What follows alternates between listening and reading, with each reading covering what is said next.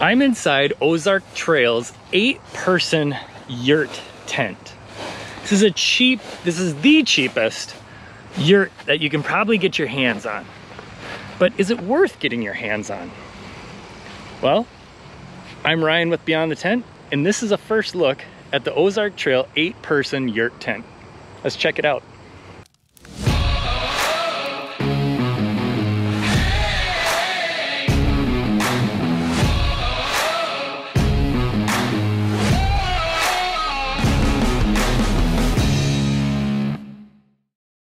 Before we get started, just a few quick notes about this tent. It's an eight person tent, obviously. Ozark Trail and Walmart. That means cheap, right? This is $110 off Walmart right now. And uh, if you've ever looked for a yurt tent, like I've got a canvas one, it's wonderful. I spent about a thousand dollars on that tent. So 110 to have a little fun in, get that same kind of big tent. You can set up that luxury glamping feel and really have some fun for 110 bucks worth trying out. Also it's it's kind of heavy. It's about 22 pounds but I will tell you my canvas tent um, I'm trying to think I think I believe it's a 15 foot radius. We'll compare the size when we get in there a little bit more but that thing's brutal. That has to weigh about 100 pounds so it's not that heavy for how large it is how big this is for yurt tents. So let's set it up, check it out. So this is really cool. The table is set up. It holds the uh, pole in place here. You can see the spot in the bottom right there. And it just holds the pole. We have a little spot in the top. And we set that up. Now we're gonna go around the edges here and uh, set these poles up. See how that goes. You can see here that there's a little holder right here for the pole. And this guy just goes right in here. And then there's a little notch down in the bottom here, little pocket that holds it in. We got three of the poles up. Got three more and then we'll go outside and put the uh, lines up everywhere to hold the tent up. So in fairness to uh, Ozark Trail, I did put the poles in first. I should have pulled all the lines first, but I don't think that's gonna matter all that much, so.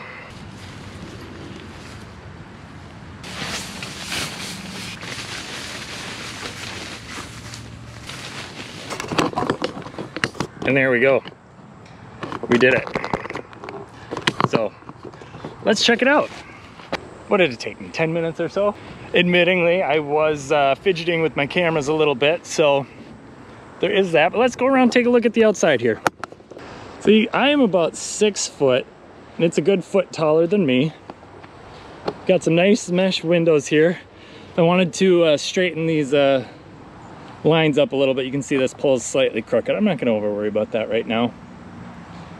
But we got some big mesh windows we got some seams right here. I'll check those out on the inside. I don't think they're a problem. Got roof vents up there. Another big mesh window. There's our roof vent.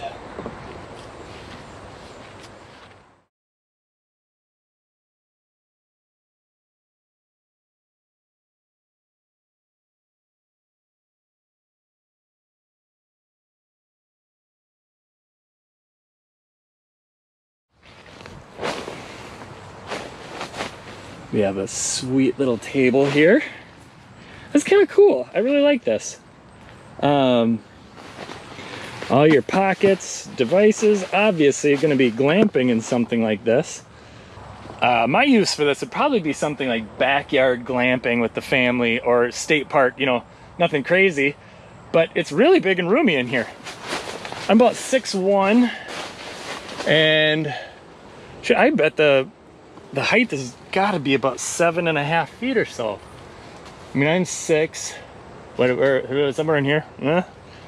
Another foot, seven and a half, right at the peak. I can go. I get a pretty big radius of headroom in here. We got some vents up here at the roof. Let's pull down some of these uh, side vents. These are pretty cool. They're really big. So we've got one, two, three of these. Bring this one down as well.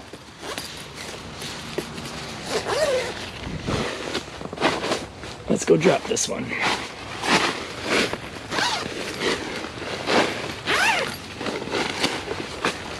And you're not gonna bake in this tent at all. If you had the, there's there's two doors on the front. You have your screen door and then your outer rainfly door. And uh, you zip that up, you're gonna be bug free.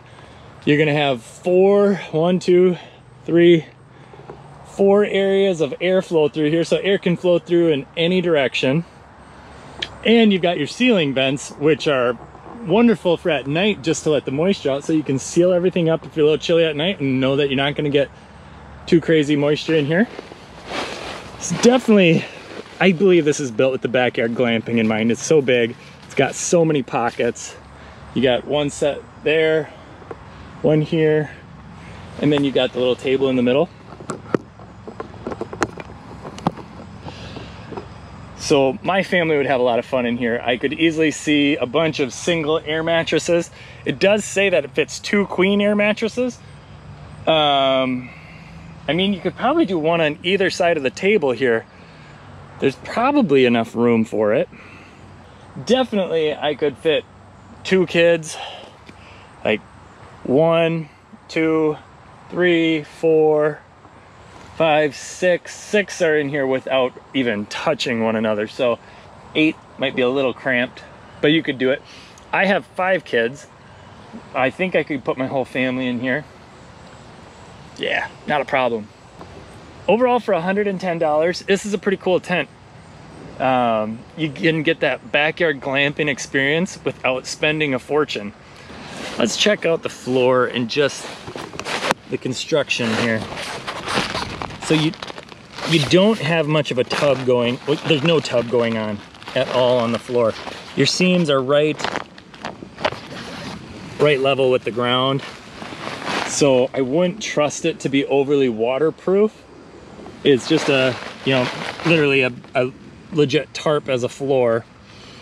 And no stitches are sealed at all with any uh, waterproofing tape.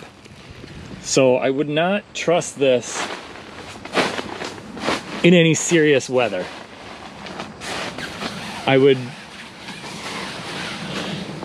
yeah, we have no waterproof tape on the seams up top. If I were going to camp in here, I'd want to be close enough to a house or a car. So if the weather got bad, I can ditch out and uh, get somewhere dry. I don't have a lot of faith that I'm gonna stay dry in this tent. So, nonetheless, for the price, compared to what I paid for um, a nice big canvas bell tent, um, it's about, I think your canvas tents are gonna start, start at 700. So you're at least 600, if not $900 cheaper than most of those tents. Thanks for watching. Make sure to click the like button and uh, subscribe and turn on the alert so you don't miss any future gear reviews. I'm Ryan with Beyond the Tent and we'll see you next time.